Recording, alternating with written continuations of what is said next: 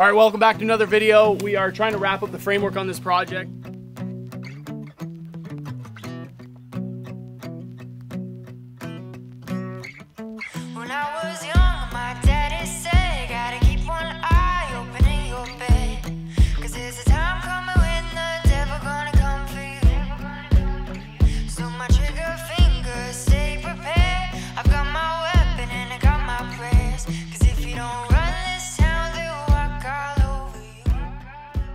What's on the agenda for this video is we're gonna be working on all the blocking in this deck, flat blocking, bridging, railing blocking, as well as all the skirt framework. So stay tuned, should be a good week.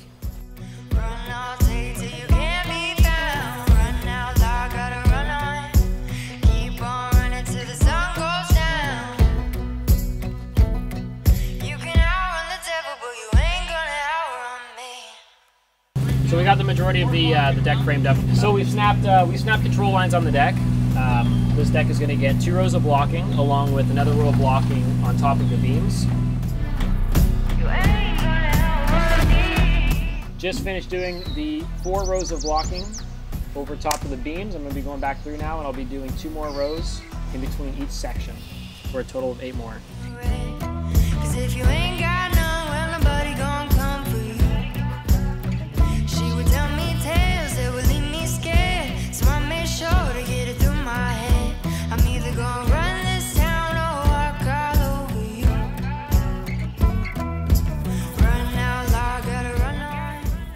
So I'm working on our corner transition detail. The decking runs perpendicular to the house on both planes. And what we're doing is we are gonna be basket weaving the pieces as they join down the center. What I'm gonna do is I'm using my square in combination with my level to draw a straight line that's perfectly square off the front edge. And I'm gonna be installing a series of flat blocks as well as vertical support blocks on each side. So what'll happen is the deck boards will alternate overlapping each other as you get to the front of this section here.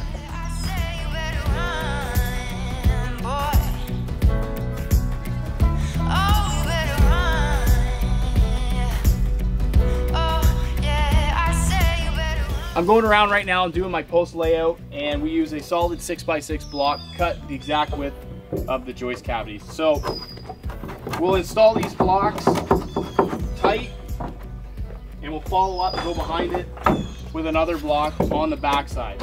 So it's a nice secure structural connection and then later on obviously we'll have lots of meat to mount it our uh, railing posts into.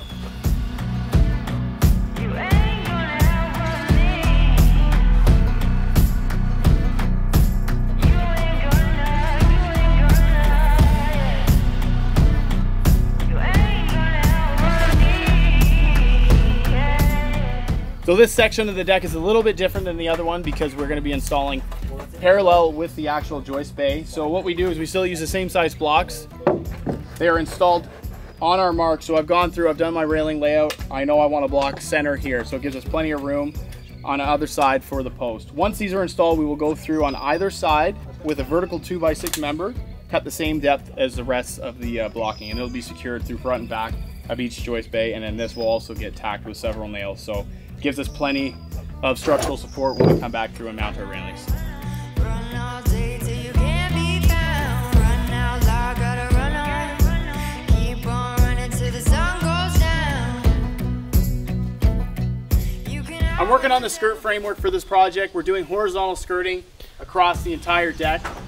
So I've got all my 16 inch on center marks. So now we're going through and we're installing the 2x4s on the flat on the back side of the rim joist. There's two lengths of 2x4s we need because this side's gonna have five boards and then it slowly gets towards six boards.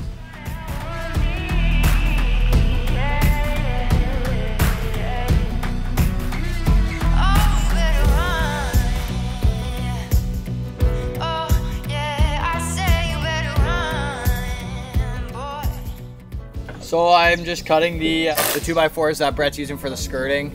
Luckily, I have this handy Cuthub stopper here, so I can just basically take my measurement, my standard measurement, and use it to butt in my uh, my two x four before making the cut. So I can just kind of feed it through and give it a Brett. Oh, yeah, I say you better run, boy. Oh, you better Now that we've got all our vertical transitions installed, I'm going through and I'm installing our bottom kicker rail and we've determined how tall these need to be so that way we have full boards finishing and this frame is going to be an inch and a half above grade. Keep on running till the sun goes down. Run out loud, better run on. Run all day till you can't be. So now I'll go through and I'll install all of these so when we come back later to install our fascia it's all on the same plane.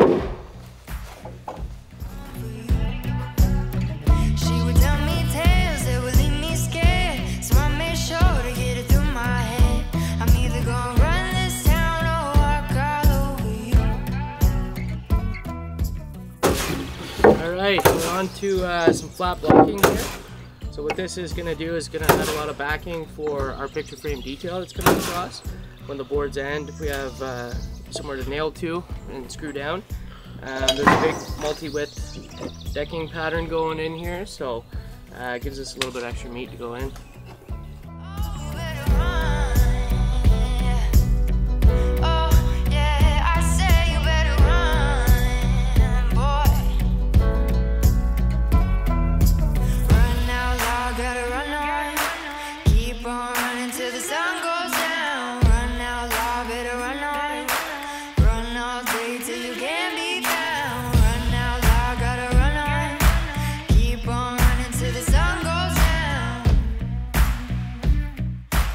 That's it for this week's video. Thanks for watching, everybody. Um, stay tuned for next week's video where I'll be back with the Dura Boys and uh, we'll be tackling some stairs and getting her all stitched up.